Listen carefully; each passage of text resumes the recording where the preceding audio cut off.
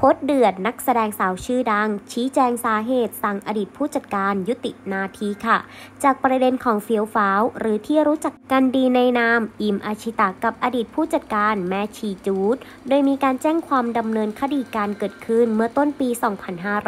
2565 ล่าสุดสาวเฟียวฟ้าวได้เคลื่อนไหวอีกครั้ง เรื่องอดีตผู้จัดการโดยโพสต์บนอินสตาแกรมบอกว่า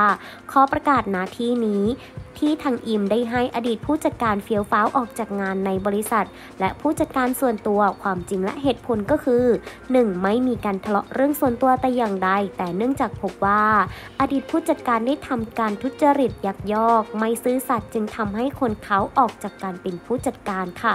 2. ในเรื่องงานที่ผ่านมาในธุรกิจทัวร์ทั้งไทยและต่างประเทศออกแกไนเซอร์ผลิตรายการ งานประชุมสัมมนา การค้าคอนเสิร์ต อดีตผู้จัดการไม่ได้เป็นหุ้นส่วน หรือรวมหุ้นใด ๆ ในบริษัทของอิมเลย เพราะอิมทำงานสายนี้มานานกว่า 10 ปี และอิมก็ได้เป็นเจ้าของกับพี่ชายแท้ๆเท่านั้นค่ะ 3. อดีตผู้จัดการมินประมาทสร้างความเสียชื่อเสียงให้กับอิมและบริษัท ซึ่งความเท็จทั้งสิ้น เพื่อให้บุคคลอื่นคล้อยตาม และเข้าใจอิมผิดโดยไม่เกรงกลัวต่อกฎหมาย อิมจึงขอดำเนินคดีในส่วนที่เกี่ยวข้องต่อไปค่ะ